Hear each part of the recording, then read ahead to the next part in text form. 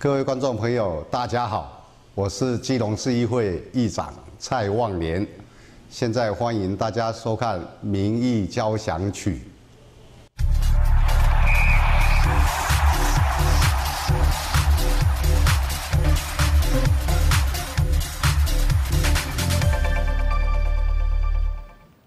观众朋友，大家好，欢迎收看这个礼拜的《民意交响曲》，我是主持人蔡小军。在今天的节目当中呢，为您邀请到三位议座，带我们来探讨基隆要怎么样改变会越来越好。为您介绍第一位是我们吕美玲吕议座，主持人好，各位观众朋友大家好，我是市议员吕美玲吕议座好。第二位呢是我们的前议长宋伟立宋议座，小军主持人好，还有我们其中的观众朋友大家好。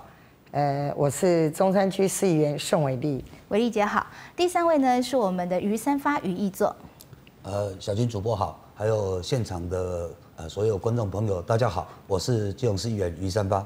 发哥好，好，那我们先来带大家来看一下我们中正区的调和市场，它现在在进行的是我们的耐震补强工程，被民众诟病哎，因为这个梁柱锈蚀比预期严重，需要变更设计。这一楼门外的外墙又在拉皮，这个施工围篱把市场围起来了，导致生意很冷清，摊商是苦不堪言。调和市场的外墙四周架起了施工围篱及纱网，原本四月开始进行耐震补强工程，预计九月完工，但现在却传出了梁柱锈蚀严重，需要变更设计，工程将延后完工。景气不好哈，影响到大家的生计了，啊，是不是工程哈赶快结束，让我们恢复正常的营业这样？它基本上就是。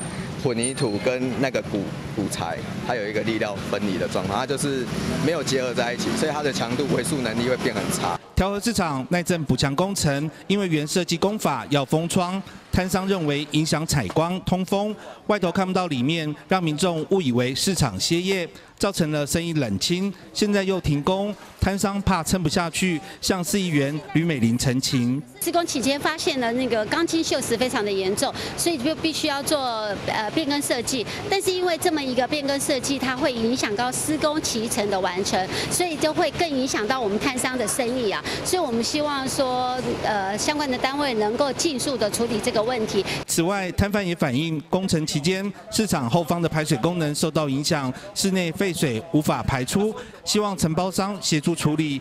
现在做施工单位都都问题了，水都不通，你看水今天看看，水都不能通了。后面也有一个污水、沟水、雨水一起混合的一个积水的地方，我们呃希望厂商能够在施工期间协助定期抽取，然后呢在设计工程变更的时候能够一并呃解决哦一并设计，然后呢在变更呃设计的时候一并解决这个污水的。问题。市政府市场科强调，调和市场并没有停工，外墙拉皮和耐震补强是两回事，外墙仍有继续施工，内部的耐震补强需要送经济部审查，预计两个月核准之后就会进场赶工。不知道现在调和市场目前情况是如何？我们要请教我们的吕一泽。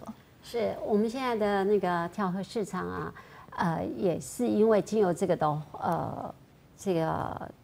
所谓耐震补偿的工程，所以造成有一阵子他们的生意真的很不好。那我们也希望这样的工程能够赶快好。那除了这个耐震补强，实际上市政府它经它原来的预计呢，整个其整个基隆市啊，它有好几个市场都要做耐震补强。包括信义区的信义市场，还有中正区，还有另外一个市场，就是富贵市场。我相信富贵市场在之前曾经呃蛮轰动的。所谓的轰动，就是因为有很多的这个摊商，他从富贵市场在那边已经从他的阿公阿妈的时代，跟父母的时代，还有到现在他的这一代呢，已经至少是三代以上的人了，居然被赶了出来。而且没有一丝一毫的补偿，并且呢，市政府用非常非常简单的理由，就是就两个字：安全。没错，安全是非常重要的，所以才需要耐震补强。那当初呢，富贵市场也有说过，他要做耐震补强，而且这个预算也编了。但是为后来呢，他居然他的招标案居然变成了另外的一个。招标案，也就是不是耐震补强的招标案了，所以我们觉得非常的质疑。那所谓的安全，市政府一直对外强调，刚开始的时候说这是海沙屋，但是前前后后我们看不到海沙屋在所谓的呃报告里面，鉴定报告里面来，我们这边有两份鉴定报告哦。第一份呢，也就是市政府一直强调的，在一百零七年啊的一月十七号的一一月二十三号的所谓的中华民国建筑技术学会的报告，这个报告的结论是什么呢？他说，呃，有两个补强的方案，他也提出来了，有两个补强的方案哦，两个补强的方案呢，它需要钱，那钱是多少呢？钱呢？他需要的是，啊，大家看一下啊，他他说需要耐震补强啊，这两种方案的经过的分析以后，是均能够符合现行耐震规范的要求，也就是富贵市场它是可以做耐震补强，而且呢，它需要多少钱？他说这个的工呃这个工程费用需要的是一千九百。三十万五千五百三十七元，也就是说，你一千九百多万，你就可以把一座富贵市场位于市中心，而且四层楼，哦，现在是四层楼的富贵市场，就可以把它耐震补强完毕。那我们相信，如果今天你把它补强完毕了，你就不需要让二三十户的摊商，他没有。办法继续做生意，也可以让居住在三楼的这些住户，这些比较弱势的住户无家可归。你居然不愿意花这一千九百多万，而且呢，这里我们看哦，这个是市政府提出来的耐震补强的方案，也就是它需要一千九百多万。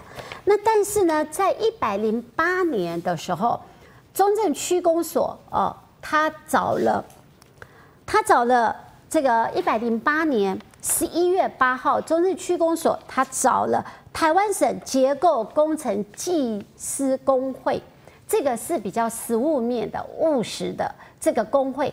他强调这个地方呢，哦，它不是，他说氯离子含量。并非主要的原因哦，他说顶板剥落不是因为氯离子含量过高的原因，最主要是因为它的防水措施没有完善，呃，然后让钢筋锈蚀膨胀造成的。所以他说，它不是因为氯离子含量过高，而是因为你在四楼的天花板上面弄了什么，弄了一些水管。然后水管呢，它的防水没有做好，所以呢，它才让钢筋锈蚀，才让这个天花板的水泥膨胀，然后崩落下来。然后他讲，这个呢很简单，你只要把上面的这个水管这个地方的顶板拆掉就可以了。哦，拆掉以后你就可以。然后呢，不然的话怎么样？你在顶楼加盖。哦，加盖这个顶楼，加盖弄什么铁皮屋？这个这样的工程需要多少钱呢？一百多万，一个是一千九百多万。你如果不想要做，没关系，整所有的耐震补强一千九百多万。如果你觉得啊这太贵，那一百多万就马上立即的可以解决所谓漏水，还有这这个天花板。崩落的问题，为什么不要去做呢？哦，那尤其在这个报告里面，我们也知道他有特别强调，这个是因为市政府这个市场管理科长期放任这个漏水不管，而市场管理科的科长也曾经说过啊，哎，这个大楼啊，这个应该是属于区公所去管的，因为他认为二楼他做了什么。二楼做了李明活动中心，所以如果要修缮，应该是由中正区公所。但是中正区公所说没有啊，你们我们并没有说我们要做李明活动中心啊，到底怎么样是市政府内部的事情。可是它牵扯到的是二三十个摊商的生计的问题，还有住在三楼。他们居住的问题、居住权的问题哦，这个市政府不能以一个所谓的安全两个字，就好像把这个帽子扣上去了，就可以让大家离开，这是不对的哦。那然后呢，我现在就是可不可以呃，再帮我们放一些影片，还有照片，让大家你们来评评理。这是不是一个所谓的海沙屋？是不是它的安全受到了疑虑？我想请大家看一下哦。来，这个是二楼，哦，我们再是二楼。好，这个是二楼，哦，这个是二楼，也是一样，这个都是二楼。你们大家看看，多么漂亮！这是一楼的摊商，哦，他们现在正在这边。你想想看，它有像海沙屋吗？它有危险吗？那我们再下一张。好，你看这是顶楼，大家仔细看一下。我们先把这边哦，先放置久一点，让大家看一看。如果今天这是一个海沙屋的房屋建筑物的话，它的顶楼从来没有这么久了哦，这个三四十年了，他从来没有维修过、维护过。为什么他的柱子本来要可以再加盖的哦？他先弄了预预，等于说预留预留的这个柱子在那边。都没有所谓的崩落的情况，这是顶楼哦。如果他是的，好，这个是三楼，也就是说他们好危险，好危险呢。大家看看那个天花板，再看那个柱子，这么粗的柱子，这么漂亮完美的柱子，还有天花板有没有有没有发生所谓的崩落的问题？没有，为什么？因为它的天花板上面没有放置水管，它没有漏水，所以呢，它非常的干净。那我们再看下一张。好，我们现在来看哦，这是二楼的天花板，大家看看是不是非常的漂亮，非常的美哦。这整个的我们可以看得到，大家来看这个的时候，这是信义李李明办公室哦，之前曾经当过餐厅，后来呢，呃，已经不开餐厅很久，就变成了李明会堂。然后也让很多的社区发展协会的一些社团来这边跳舞啊。然后你看，它非常非常的漂亮，而且也非常的干净。如果它今天真的是所谓的海沙屋，或者是所谓的氯离子含量过高的话，应该不是只是四楼崩落，它二楼完全大家可以看。所以如果是海沙屋，二三楼也都会一起，一定都会有一楼、二楼、三楼都会。好，那我们现在看，这就是三楼的屋顶。哦，这三楼的屋顶，给大家看了哦，这也都没有没有做过任何的修缮过的哦。我们来看这个三楼的屋顶哦，哦，它也没有所谓的你所谓的海沙屋的现象，更何况这已经十多年没有去修缮了，没有哦，柱子还是那么粗壮，维持的还蛮好的，维持的非常好啊。为什么？因为因因为它本身在盖的时候就非常的。非常的结构非常的安全，你看那柱子这么粗大，我在想一般的住户啊，你们去看你们家哦，尤其啊有一些四层楼、五层楼的公寓，你去看是不是比你们的四层楼、五层楼的公寓还要强壮？你看这是它的屋顶哦，他们的天花板啊。好，那我们来看啊，这是一楼，也就是现在正呃就是过去正在营业的一楼也是一样，你看它的屋顶也没有啊。也就是说，一楼、二楼、三楼，他们的屋顶、他们的天花板都没有架设水管。那水管没有架设水管，所以比较不会有漏水的现象。四楼呢，被架设了水管以后呢，长期十多年来不去修复，所以才会导致钢筋受损、锈蚀，然后呢，呃，影响到哦，影响到这个这个水泥哦。这个膨胀，所以才会掉落。那这是四楼的问题，所以我们现在看，让大家看哦，这个是这刚才大家看到的，就是当初在二月二十七号说要把它收回来，要赶大家走之前的一个礼拜，我去拍的哦。所以呢，就可以看得出来，它根本没有所谓的安全疑虑的问题。然后还有一个。就是大家看啊，这个这个这个图片就是大家已经看过了，我就不再展示给大家看。还有我们要跟大家讲的，为什么我们要为这些摊商来说一个道理？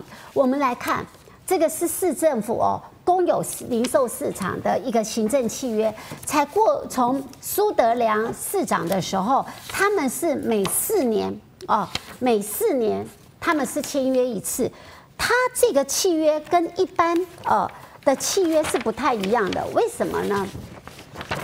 大家看哦，所谓一般的公有市场的契约是不能继承的，但是这个的契约的书里面它是可以继承的，它的直系血亲都可以继承。如果你的孩子有好几个，那你可以从中协调一个来继承，一般是不能的。为什么它可以有？还有他们从过去到现在。他们缴交的费用，管理费只有缴交所谓的管理费，他们要缴交多少？到现在为止只有七百八十元。哦，大家会觉得，哎，富贵市场为什么又可以继承，然后又可以这么便宜的租金？这是怎么回事？那是因为它有它的历史的渊源。因为富贵市场当初呢是总共有二十二户的，在日据时代，他们是两两层楼的。一个一个房子，也就是说，我下面呢是是我的商店，上面是我住的地方，所以它总共是两层楼。那总共有二十二户呢。他们那时候在苏德良市长就跟他们讲说啊，来来来，你们也已经旧了哦，那我们把它集结起来，你们的房子就让我们跟市政府合盖合建，然后呢，我给你们。一个一个每一户，如果你今天有一户，我就给你一个摊位。楼上呢，哦，就是一楼、二楼那时候都是摊位，三楼是住家，也就是只要有一个摊位，我就给你一个住家。那这样好不好？那大家觉得说好啊，那我们就结合集合在一起。所以那个时候总共有二十二户的人，曾经就是在现在的富贵市长的户籍都在这边。然后呢，他们总共是二十二户都登记在这里，登记在这里，就是因为他们那时候是把他们的房子在日据时代留下来的房子，包括楼下是店家，楼上是房子哦，是住家，然后呢跟市政府来合盖，所以从苏德良市长一直到林佑昌市长，也就是目前为止赶出去之前。是每一任市长任期四年，他他们一签就是四年，每一次就是签四年。换了市长，市长如果续任续任的话，就是再签四年。如果换了市长，八年以后换了市长，再签四年四年。如果李志勇市长时代他只有四年，那他就签一次。接下来呢，就许才立市长的时候也是签了两次。每一次都四年四年，张通通市长也是一样，一直到林佑昌市长也是有一个四年哦。然后呢，再来呢，他就不再签了，他不再签，他就一个非常简单的，就说啊，我就我我就安全了。可是实际上是不是安全的问题？不是，对不对？大帽子一扣，哦，好像我们很坏，呃，硬要大家住在那边。就像摊商他们曾经讲的，如果安全有疑虑，他会比别人还更还要更紧张，因为住在那边的是他们自己。所以为什么后来有摊商自杀？哦，那个是住在三楼的一个阿妈，将近八十岁的一个阿妈。为什么呢？来，我们来看，这个是他自杀以后，他的女儿讲的哦，他女儿写在。呃，网络上面的，我要跟大家讲，为什么呢？我念给大家听，他就讲说，对他就是傻，他就是指那个阿妈，用我妹的身后钱买了权利屋，住到快八十岁了，就被无情赶走。他只是想好好的、卑微的住到老。如果市场权利屋不能买卖，你是否为什么要罚款十二万？元以后让他办过户，好，我必须要跟大家讲了。那时候有很多的谣言说啊，这个他们只是权利屋啊，所以或者是他们只是占呃呃所谓占用市市政府的这个房子或土地，实际上不是这样子的。我刚才讲过，这些摊商不管你是一楼的店家或三楼的住户，实际上就是从日据时代保留下来的这个住的权利跟经营的权利。再来的话是这个那个权利呢，实际上市政府它是消极的，也就是你要自由的转换的话，你要被罚。所以这个阿嬷她被罚了十二万，然后呢过户在她的名下。当初她跟她的女儿，后来她女儿被车子撞死了以后呢，有一个补偿金。这个赔偿金以后，那阿嬷就因为她一直跟这个女儿住在这个房子，因为其他的女儿就嫁人了嘛，所以住到这边了以后呢，她就一直因为女儿走了，所以呢，他。就把他女儿那时候的赔偿金拿来装潢，装潢的很漂亮。他就觉得我跟我女儿的精神住在一起，我要住到我老死在这里。但是最后我们的市政府就这样无情的把他赶走，他当然会想不开呀，因为他希望在这边终老嘛。那我们的市政府是这样做的，那所以呢，从市政府在处理这个富贵市场啊，我觉得。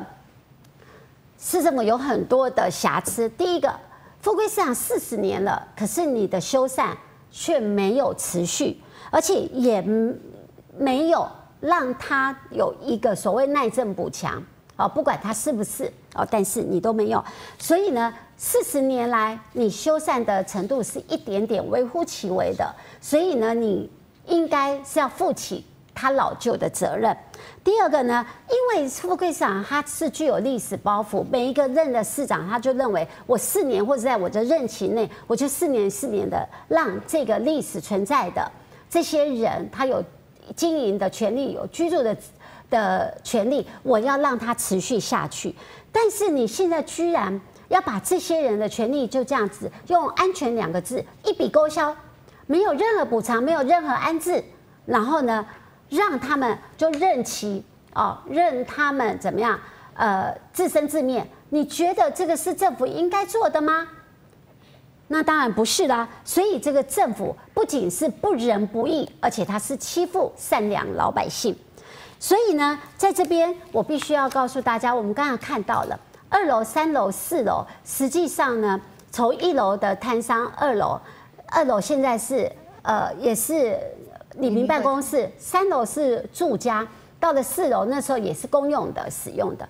如果你能够把它耐震补强，用一才花一千九百多万，你还可以不仅维护了这些人应该有的权益，而且你也可以做公众使用，包括二楼做李明会堂，还有它要有一个地下楼也是一样啊，它是社区发展协会在使用啊，你这样何乐而不为呢？一个李明会堂也，我们以前都编一千万嘛，对不对？那一个社区发展协会，甚至那里面还可以让两三个李明，呃，李明，呃，两三个李来做李明会堂，到四楼也可以做公用。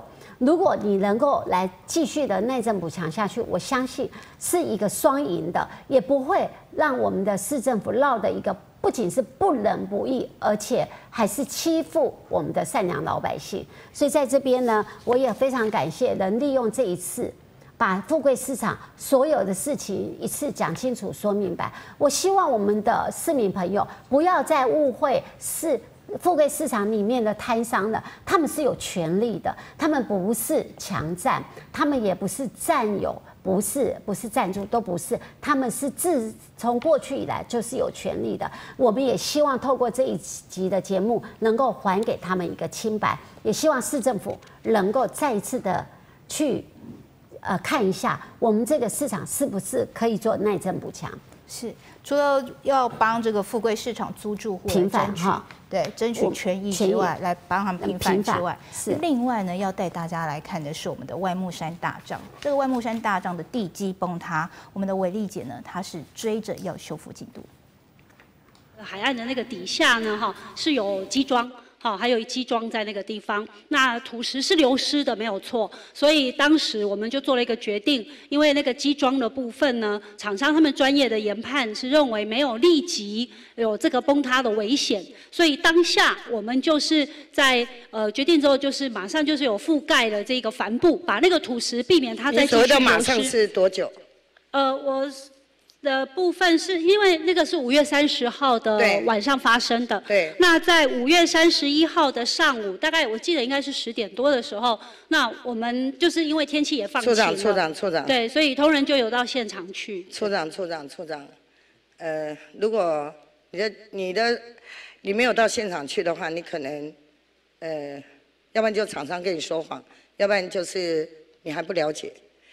我了解。我跟你讲，五月三十一对，我早上早上十点钟我就到现场，哦。我想这应该是属于立即灾害处理的，就像落石一样因为那个是整个人行步道，不管他的基桩在不在，他连这个挡土墙都已经都已经被那个土石所所推倒了，所以在我的认知应该是属于立即性的，对不对？立即要去做一些研判 OK。好。五月三十一号早上我去看，看了之后，就是我照出这相片。嗯到了晚上我也到现场去看，还是一样。到了礼拜二，礼拜二才看到覆盖，我是不是？所以我想说，这到底是立即性呢，还是一般的工程？针对这个大将地基崩塌的议题哦，我们要请韦丽姐来跟我们分析 怎么看这件事。好，我想第一个，这个我们的处长，因为那时候才刚就任，他可能不了解地方性啊，可能也没到现场，所以当我在咨询他的时候，他有一点呃不知所云，因为他只有听厂商跟他做报告。好，那我的意思就是说，呃，当我们在就是说这个，在我的认知是一个是一个立即性的一个修复，因为那边有外县市的游客，而且一大堆人到了，尤其到礼拜五、礼拜六、礼拜天的时候，来了非常多的游客，因为我们也知道，我们万木山已经列入为风景十大风景区嘛，那外县市人几乎到基隆来的非常多。事实上，我们很多的风景区也希望是外县市的人来到我们基隆市，因为来的话就会来消费。我想我们都知道，人潮就是钱潮。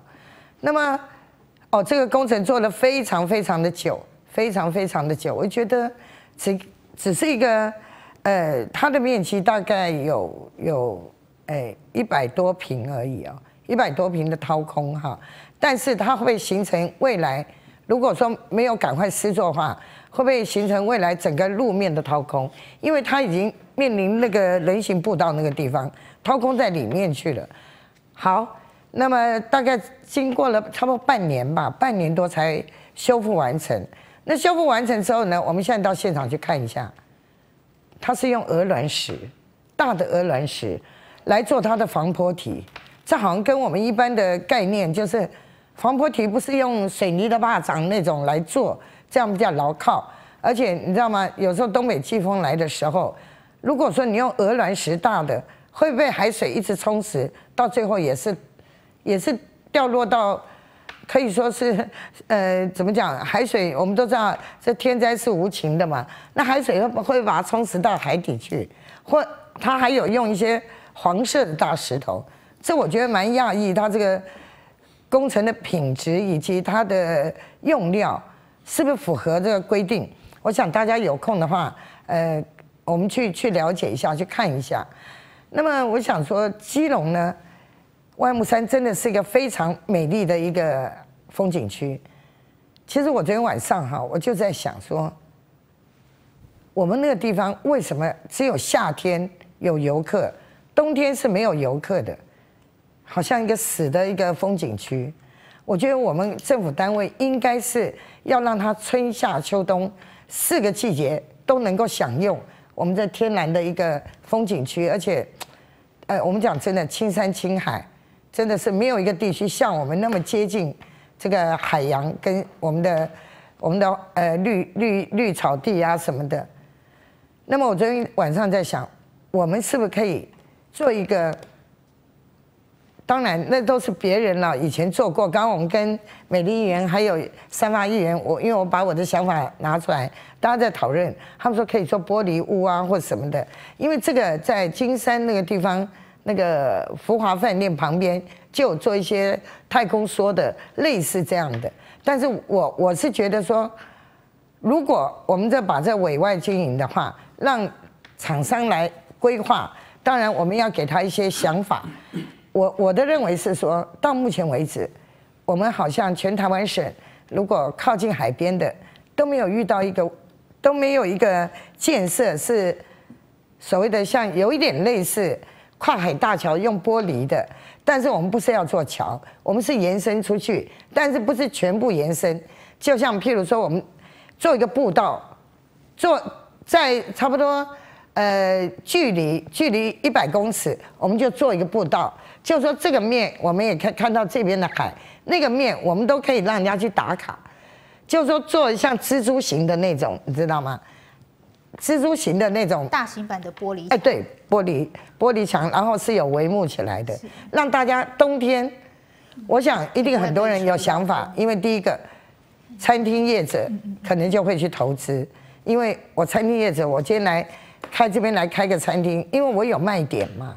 我让大家在冬天可以看到哇，整个那种海景哈，波涛汹涌。对呀，波涛汹涌。其实我跟你讲，爱海的人呢，他们觉得那个样子好像觉得哇，好好棒的那种感觉，你知道吗？我会觉得说，而且让他们身临其境在大海中是什么样的。我想那个大概如果可以的话，当然这涉及的单位非常的多。我想工程。监造呢，一定是可以克服的，因为现在没有什么不能克服的，海底的什么隧道啊，什么都在做了。这我是我昨天晚上突然间想到哈，那么我就觉得说，我们应该四季四季都要用这个万木山。我想这点提供给我们我们管销处哈，或者是我们那个北关呐，或者石河局啊，因为这涉及单位非常多，还有交旅处啊等等的，对。那么，这是我一点小小的建议。那还有就是，万木山那个延延，我我一直我一直在议会提出来，我说时常有落实的发生。我们市市政府单位应该要提早公务处一定要做监视监测，监测这山坡的它的稳定性、稳定度还有稳定性，因为什么？随时会落实下来。我们不要像这次火车，依然那个呃花莲的，那个火车一个不小心丧失了四十九条性命。我觉得我们要未雨绸缪，很多事情先要想到，因为它是个风景区，万一一个落实下来的话，一个落实下来的话，砸到车、砸到人，都不是我们所愿意看到的。所以我觉得我们监测一定要周边一定要做监测的这个动作，这样子。这样就不会有发生不幸的事情哈！不要说做亡羊补牢的事情，我觉得那那都不是政府该做的，应该要未雨绸缪。对，除了要监测这个山坡的稳定度外，然后带大家来看这个水沟太老旧，其实也是很危险哦。一块来看看。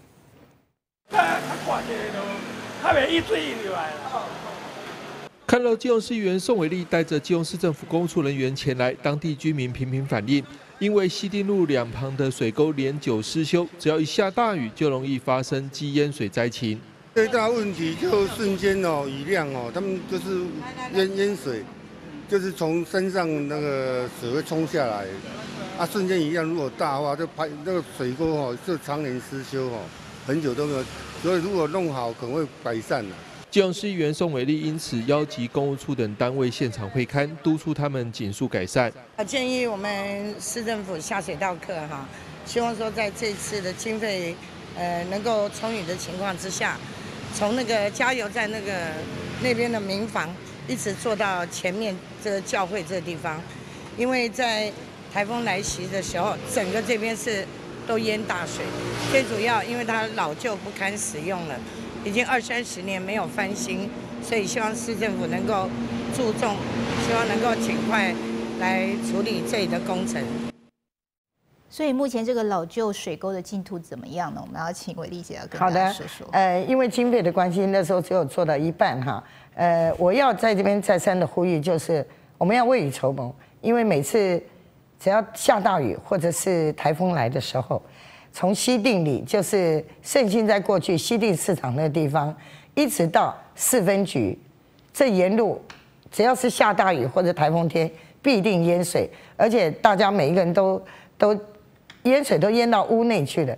那最主要是因为我们的我们要是往复兴路这条西定路这条路走的时候，右侧山坡哈，第一个那个地方似乎有在走山。我想这也是我一再呼吁政府单位，因为那边居住的民众非常多，监测所有山边都要有监测系统，否则真的是有一天整个一座山可能就会垮下来。好，那我想这也也提到我们一些中山区，不管中山区是或者是其他的区域，现在都有空屋率非常高，而且老旧。那我们要如何使得那些老旧，然后空屋让它活化呢？我想这就是我们市政府要用它的智慧。当然，我这边也在提，做个友善的城市，我们一定要内外都兼具。所谓内外兼具是什么？内部我们要有养分。什么叫养分呢？我们必须要对它，就像一棵小树一样，我们要要它茁壮，我们必须要给它浇水，弄一些弄一些营养剂给它。就像我们女人要出门的时候，我们是不是要化个妆，人家看起来就很舒服？同样的道理，对内我们一定要把自己养分充足。那对外呢，就是让这些，因为你养分充足之后。我们的人潮、钱潮才会进来。那我的意思就是说，空屋我们现在要怎么活化呢？呃，我在想说，现在基隆市可以说是这个已经银发族老人化非常非常的大哈。这边刚刚做了一个统，在查个资料哈。这样讲好了，我们的那个，我这边有一份资料。我刚刚也，来来来来，我们真的是超高龄的城市哈。那么超高龄城市从一百零八年，我们来讲好了，它的百分之比是百分之十六点二六，十六点二六。那么一百零九年九月底的，它六十五岁，占人口数十七点二四，十七点二四。可见我们的这个城市越来越老化，那我们就在想，我们很多空屋，因为基隆又属于山坡地较多的地方，就我先来呃用我们那个，我们大家都知道虎仔山中山一路那边整片就是面向我们金融港的这一片，我们望眼看去，我们到别的县呃到别的国家去看呢，你看香港维多利亚多漂亮，港口是多么漂亮。可是我发觉这几年来，我们政府机关好像只着重于中正区、中正区东边，我们呃所有的什么货柜啊，什么都跑到我们西边来。好，那也无所谓。但是问题是我们要如何来活化我们的空屋以及我们的我们的这些老屋？第一个，现在大环境不好，大环境不好，你要叫我们民众怎么去活化它？我我每个月薪水都不够，干吃都不够了，我怎么去整理我的房子？而且现在年轻人都已经搬出那些老屋了，那些剩下的就是一些年纪大的，有的甚至全家举家都搬搬迁了，可是房子还在那里。我们政府单位是不是能够整个重整？就是说怎么重整呢？第一个，先去看这房子的所有权人以及土地，土地是。就是土地的所有权人是谁？那是不是可以说用辅导的方式？当然也是用辅导，或者是用那个那个那个什么奖励的方式。因为我我刚刚前提有讲，大环境不好，大家没有多余的钱来让这个老屋然后活化，让它再生它的生命力。那政府单位就现在应该应该运用这样的一个机会呢，就说用。我们那个有不是有前瞻计划吗？八千八百亿啊！我们那么多的钱，我们是不是能够重整一下总量管制、总量的重整？这个整个我们空屋率有多少？而且我们能够去做的有多少？好，就这样讲好了。我刚刚前提也提到老人化，我们是不是能够在半山腰那地方可以做个医疗小站，然后做个日照中心？而不是说一定要在李明会堂或者是什么，我觉得像卫生局，他们因为卫生局每一个区都有嘛，每个区都有卫生局，那卫生局的人员，我觉得他们也可以下乡，或者是找一些志工的，比如说有医师工会，或者是药剂师工会。我相信很多现在很多热心人士都愿意去参与下乡去帮助这些银发族的人，因为第一个，我们也会老，每一个人都会老，我们每一天都会遇到，所以我们要防止未来就说，因为现在很多老人、老老年人他们都没有人照顾，就大家有的是都到李明会堂，当然李明会堂是非常好，问题是李明会堂。家里居住到里面会堂太远了，我觉得像那个医疗小组、医疗医疗小站那个地方做一个据点，比如说每一个里做一个据点，他们对他们的便利性也比较高，而且要将他们的资料要整个整个都把它建制起来，尤其那个高龄人口的健康医化资料。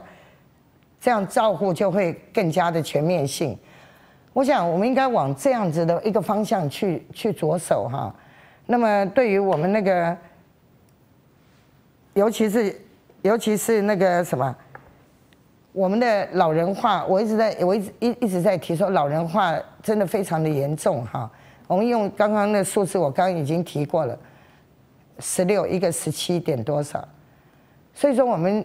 很多事情，我们政府单位要如何来照顾这个银法族之外呢？也要活化这个地方的空屋率。我觉得这个应该是相辅相成，对，所以。所以我们就是要想办法来活化这个虎仔山这一整大片的空屋嘛。是。然后刚才也有讲到我们的老旧水沟的问题，也要赶快解决，因为会有淹水。那同样是这个淹水的话，我们要带大家来看，其实，在大武仑地区的淹水问题，之前是非常的让人震惊哦。所以我们的余毅做的是争取了排洪设施，要来解决无人街的淹水问题。要跟要讲，所以我现在暂时在这边不会多说。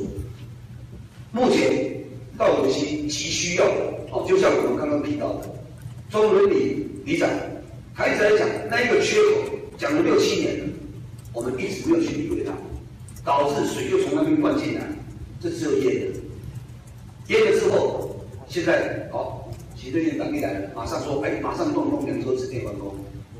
事实证明，这个缺口是有必要的，可是为什么这个这这几年来这么多的钱你们推不进去？那我我我请问，你现在把这个地方又又又又筑高了，那后面的工业区不是死得更惨？那我建议你干脆做这个闸门，干脆就让它淹嘛。你说你说这个急急急降雨宣泄完之后，这个就可以就可以具有消耗有益啊。那你干脆就做水闸门，做做这个当蓄水池，后面就不会这样跟着淹上去了。所以我想今天。五轮系的这个整治问题，还是以上面的节流最重要。你下面分流已经考不了。就像你讲的，如果把它截弯取直，截弯取直，水急速的往下冲的话，变成三米里麦积路，也会淹水，对不对？所以现在节流是我们最当前、当最好的方法。所以希望市长，事情都已经发生了，希望你能够趁这个机会，赶快向中央反映，把这个节流给做出来。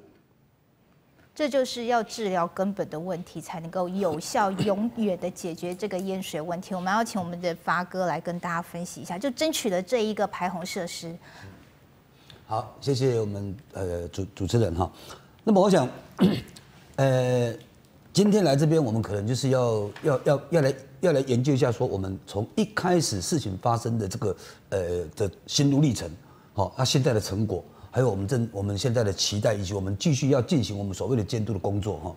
那么第一点就是说，二零二零一五年的九月十六号，那时候到五人溪淹水的时候，我们就一直在告诉那个林林市长说，你们这个这个淹成这个样子，虽然没有酿成非常大的灾害，是有少数的一些受灾户，那么市政府就讲说啊，那是百年罕见的急降雨。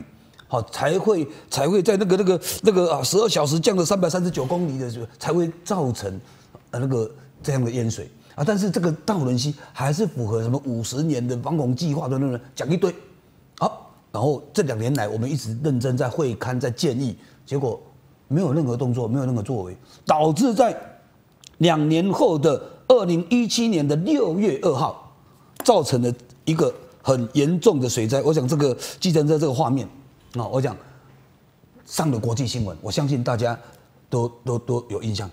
哦，那也是大人溪淹的这么严重。哦，来，那么当天，我想我们的那个。五人溪，我大概介绍一下哈。我在这节目也曾经提过，在议会一直在争取，就是说，这里是我们的大五人溪的源头，这个地方叫五龙街，这一边叫哎这边叫武圣街哈，武圣街这一边叫五龙街，哈武武圣街跟五龙街这两边的水集结起来之后，在那个托里公庙附近那下就集结起来，沿路收集的我们所有大五轮地区的这个这个大大量的水。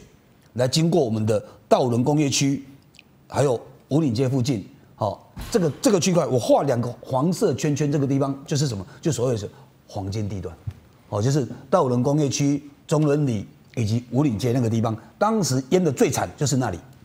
好，那我们就回到这一个这一个来来套套看哈。当初我们讲的，我刚讲的这个 Y 字形，啊，Y 字形到这边流下去的时候。这个地方我要特别特别强调，因为当天我们所有的这个这个呃什么市长啊、媒体啊什么等等，大家都在这个这个黄金黄金地段来看说，哇，这边商家的损失的，好，然后媒体在这边采访。但是我那一天我的人去过这里之后，我是跑到去找源头，到底是什么地方造祸？为什么会让我们这个淹的这么严重？结果我就跑到这个地方去。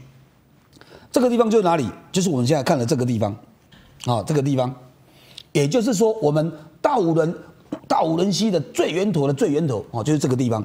那么我我现在用这个图片让大家做一个做一做一个看看啊，哎，这个地方有一个小小的这一个有没有？啊，这一个，这个看起来这么渺小的这个东西，哦，你看这么小一个哈，其实它是什么？它就是我们的情人湖。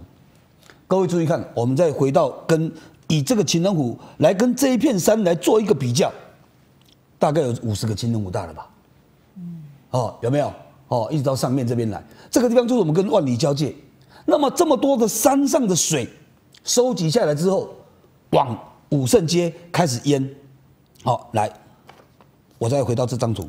好，刚刚山上的水，好，山上的水从这边下来之后，把武圣街的水。淹满了，武圣街地势那么高哦，就开始淹了，一直淹淹淹到这个地方的时候，完了，因为它的水流很强，所以它淹到这个地方的时候，我们五龙街的水排不出去，武圣街的水太大了，所以五龙街的水挤不过它，所以它往哪里流？往后面流回来，所以造成武圣街淹完之后，五龙街也淹，然后把这个两个地方都淹完之后，这个水再继续流下来，流到道伦公去淹。淹完之后再去中仑里淹，中仑里淹完之后再去五岭街淹，所以整个道人溪之前二零一七年六月二号上了国际媒体的刚刚讲的那部计程车的那个画面，上了国际面这个这个淹水，终于把我们市政府打醒了。哦，道人溪不是你们讲的所谓的百年罕见急降雨，一样是这样的雨量，你看没有没有没有做没有做积极的这个改善行为下去的话，你看。两年之后，淹得这么惨，所以当时我就我就积极讲说，一定要在这一个最上游的地方，武圣街这个地方，把山上这么大一片的水，把它给排到那个排回去给万里啊，或者是排到我们大海，就是不要再流到五轮溪的啦。你在有五轮溪，颠头阴刷料过的也得倒阴啦。所以我这个我在节目上我都曾经讲过了。那么终于很感谢哈，后来在有一次的机会。市政府虽然一直没有听进去我的建议，但是中央什么的地质核山局等等这些跟着立委来会看的时候，我蓝叫深渊，跟他们拜托说：“你跟我去现现场看。”结果放了太空包之后，发现真的有效果了。那一股水就这样拦拦拦到大海去之后，真的有效果了。什么效果？我告诉你，二零一七年的六月二号淹水之后，我在事后不到一个月的时候，就建议把那个太空包放了之后。有效果了，后来现在都变成一个大型的自动池。当时我们的那个宋局长也有去现场去看，希望说能够把那个地方在在绿美化更做得更好。现在整个那个设备就在我们那个要去大五轮沙滩那个红绿灯啊那个地方，你往往往左边的山坡看，那个设施就在那里。从那时候开始，现在已经花了七百万，只花七百万，就已经把这个这个水做了很好的处理。现在已经到现在二零二一年好的四月底了，报告四年来了，大武人溪没有再像过这样的淹水。这四年来，很多地方都有淹水灾情，我们武人溪没有。当然啦，我们市政府也有一些作为，也不是说完全都是我的功劳了。我是认为说，我在后面有做了这一个之外，当然市政府也有做了一些河道、河道的清淤啦，或者是说拓宽等等，也是有作为，不是没有作为。好，但是后续还有更多的作为，到目前都没有动作。为什么？当初一淹水的时候，我们的林权院长还有赖清德院长都到现场了，甚至于蔡英文总统都来了，讲了一句话：为了大武人溪治水的问题，再多钱都要花。不够的钱，前瞻计划出。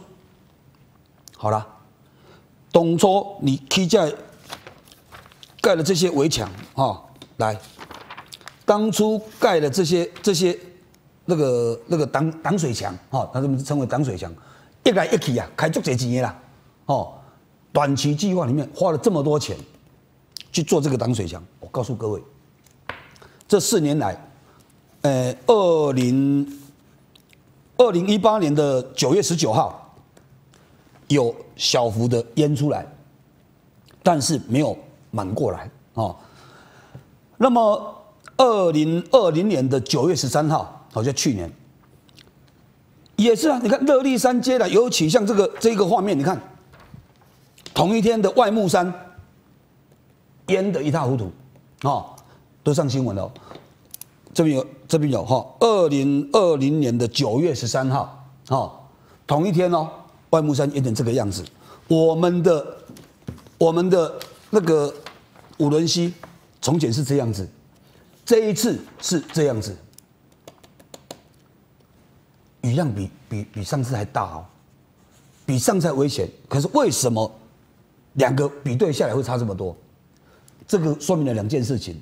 第一件事情。我们在上面把这些水排掉之后，五轮溪的水量降低了，所以它并没有像上次这样淹那么高，把铁栏杆都淹淹过去了。上一次是把铁栏杆都淹过去了，这一次呢，我们盖了一百二十公分的这个这个挡水墙，其实也没有淹过去哦。这个水是哪里来的？我告诉你，这是我要说明的第二点。第二点就是这个挡水墙其实没有没有必要，为什么？你水没满过来啊，它是渗出来啊。你看，路面上有烟哦，它是渗出来啊，不是不是从满到这个这个挡水墙出来。对，所以你今天就算没有这个墙，它其实它也它也 它也也也也不会淹过来啊。啊，就算有有有有有有有淹水，也不会很严重啊。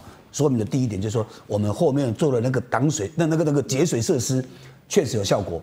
好，第二个，这个挡这个挡水墙其实意义真的不大了，意义不大了哈。但是很庆幸的就是说，大家的努力了。当然，我我我我敢说，我真的有为地方做了这件我自己觉得很很很很能够对自己交代的事情哈。大湖人心这四年来没有再淹过水了，虽然别的地方都有传出灾情，可是这一次你看，大家担心啊，别安怎，看到如果啊哗啦哗啦，竟然会不会淹大水啊？事实上那一天，我我我自己也有点紧张，说到底有没有发挥功效？你看，真的发挥功效，因为别的地方淹得一塌糊涂嘛。哦，之前你看中平街啦、复兴路啦，甚至于市区庙口等等，好几次的淹大水。这四年来，我们五人溪没有再传出灾情。当然，我们也不因此而自满。我们后续还有的，就是说我们的中期计划。当初蔡英文总统讲了，钱不够，我前瞻出啊。现在四年了呢，中期计划但在哪里？终极计划，我们就希望说，把棒球场全部搬起来，重新盖，下面做滞洪池。哎，这个好啊。对。可是四年来了还没有作为，喜爱国应该做感动，做严重呢，你才要作为吗？还有说情人湖的那个下方，要在做滞洪池，那到现在呢，四年了呢，你说钱不够，我我前瞻出，你前瞻出到哪里去了？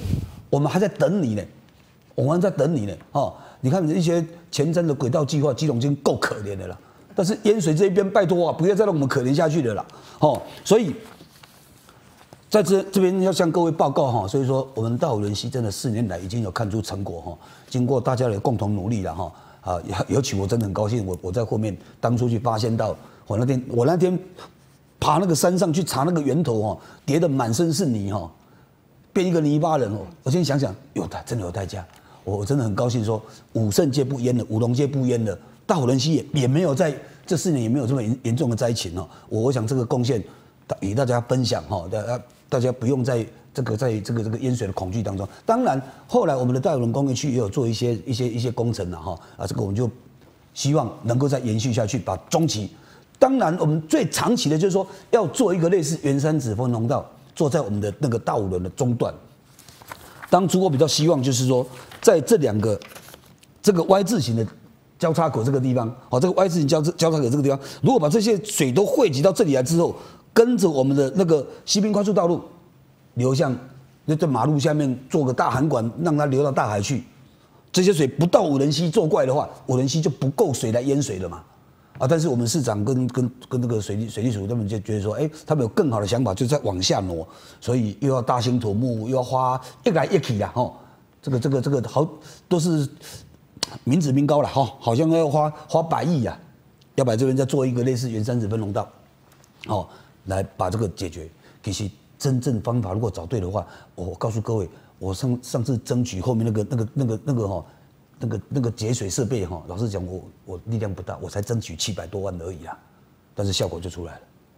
啊，你这个要要百亿的工程，不然你也快一点，不要我们就在那哦，你你们钱怎么花，我们也我们地方议员也没办法去管到你们中央政府了。但是不管怎么样，既然要花就花阿阿萨利，卡紧的哦，因为短期的。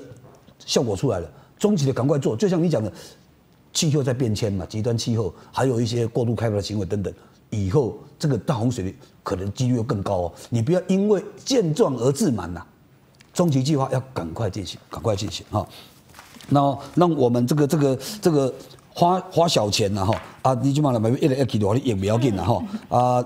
希望我们在现在的这些接下去的工程，好能够帮我们加快。加快，让我们免于这个淹水的恐惧哈。是，这是很让人期待的未来的中期计划，还有我们的长期计划，相信呃，基隆会更好。然后剩下最后一分钟，我们请三位一座来跟大家最后分享。嗯，我希望能够为富贵市场做一个平反，也希望市政府能够重新再检验一下富贵市场是不是可以做内政补偿的工程。我理解。啊，我想对于基隆市的所有空屋率啊，我想市政府有这责任啊，要去总量的去调查，然后看如何活化它。这是让我们不管整个环境，或者是让宜居的城市，这样才能够让住的才会觉得开心快乐这样子。大哥。好，那我针对刚刚大家所提的哈，我有几个几个几个意见，就是说哈，富贵市场顶楼如果要加盖的话，老实讲要花一百多万，倒不如去配合政府的政策，现在可以盖太阳能屋顶，又有补补助，又可以赚钱，又可以解决问题。我我这是我一点建议。再来就是说那个万木山啊，冬季在利用，我希望说像从前我们那个那个张张总市长的时候，曾经做过所谓的风洞节啊，就是东北季风来，我把东北季风弄成一个特色，把万木山好，而且要盖一些室内设施，让我们万木山可以。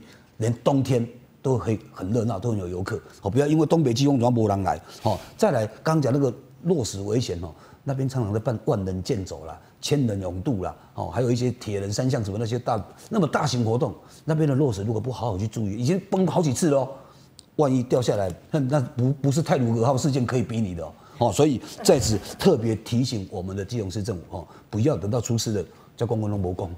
好，谢谢。今天非常谢谢我们的美玲姐、我们的伟丽姐，还有我们的发哥到我们民意交响曲的节目现场，跟我们谈了基隆的地方发展，还有哪些地方需要市府再更加倍来努力来争取哦。相信我们基隆会越来越好。谢谢三位一座，也谢谢电视机前面的观众朋友，我们下次见喽，拜拜。谢谢。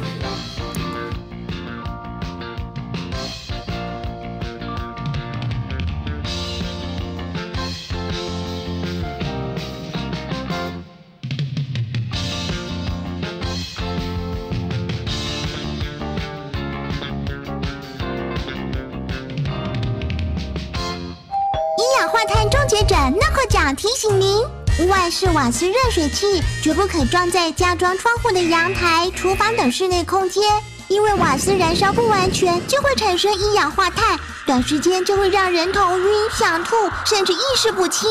想保命，跟我这样做：一、热水器迁移至屋外；二、更换成强制排气式热水器；三、改用电热水器。